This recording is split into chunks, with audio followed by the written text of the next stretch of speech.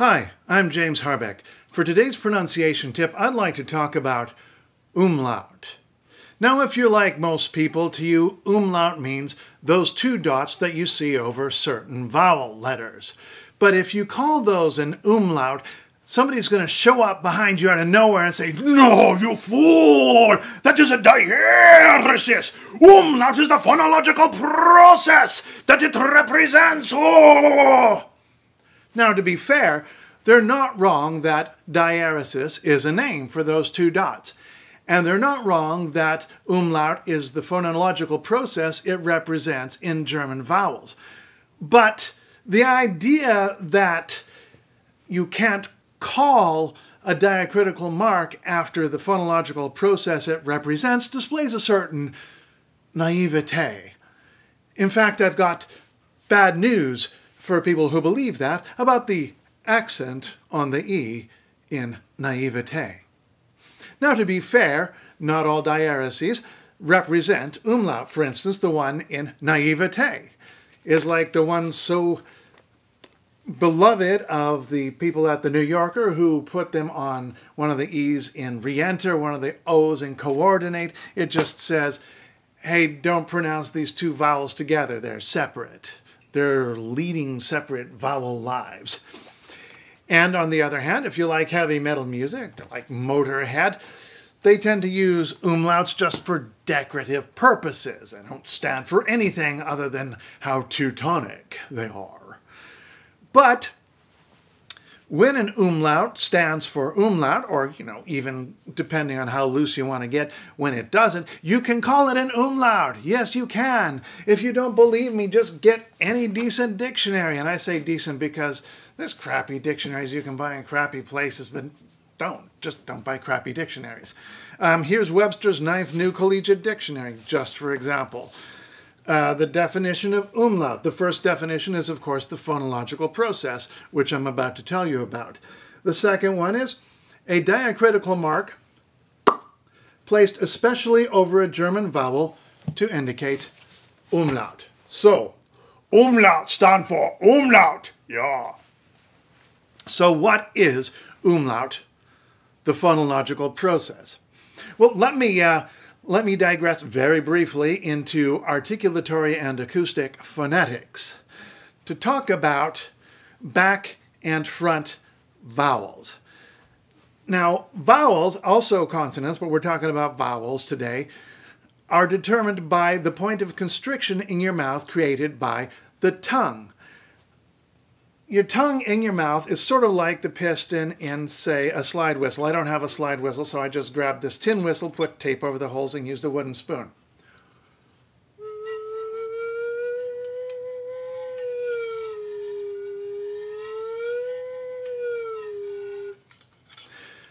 You can do the same thing if you're whistling.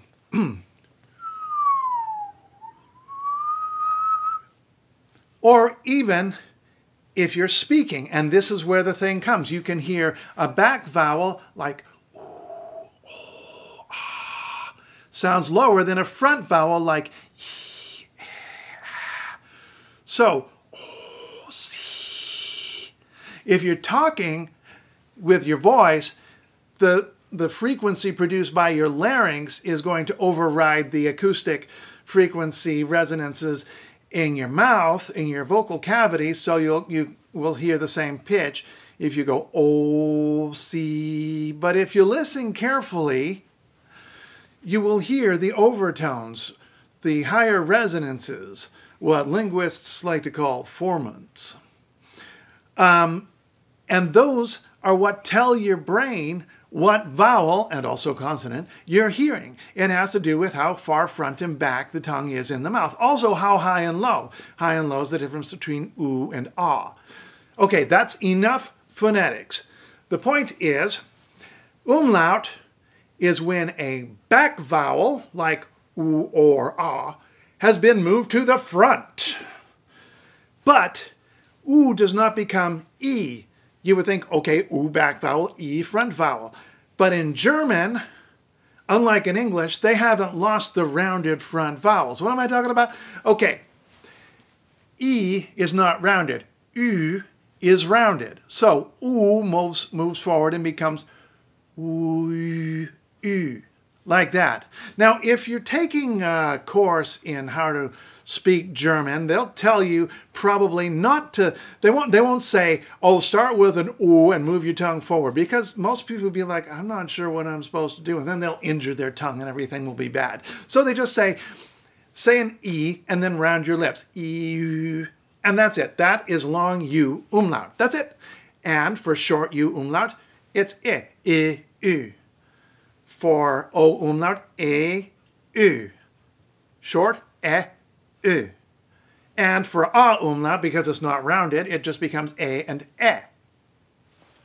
So you get it in names like Albrecht Dürer and Günter Grass and Johann Wolfgang von Goethe and Götz von Berlichingen and Käthe Kollwitz and Elisabeth Langgässer. And also because EU stands for Oi in German, if you have an A umlaut U, you get Oi as in, for instance, Fräulein. That's the whole deal. That's umlaut. That's what those two dots on a vowel in German stand for. The vowel has shifted forward. Now, you might have noticed that in Goethe, we usually spell it G-O-E-T-H-E rather than G-O dot T-H-E. And that is because umlaut can also be represented by an E after the letter. For instance, Albrecht Dürer, you could write it with D-U-E-R-E-R. In that case, the E is not called an umlaut. Come on, it's an E. But the vowel process is still umlaut. Um, now, if you're speaking English and you want to say one of these words, you're probably not going to say, well, I was at the gallery and I was looking at paintings by Albrecht Dürer. Then I went to the bookstore and I went to uh, buy a book by Günter Grass, but I ended up with one by Johann Wolfgang von Goethe. I mean, you might if you're that kind of dude. But you might also say, well, Albrecht Dürer, you know, Günter Grass, uh, Goethe. Incidentally, in England, they like to say, well, Goethe is, spelled, is pronounced G-E-R-T-A, Goethe, you understand. Don't do that if you're Canadian or American, because then you're saying Goethe, which is a whole other name. Um, you can get close enough. Goethe and Götz von Berlichingen. It's, it's, it's, there's a lot of leeway. Most people are going to be very forgiving. And for the people who aren't very forgiving, just remember not to talk to them next time. I don't know.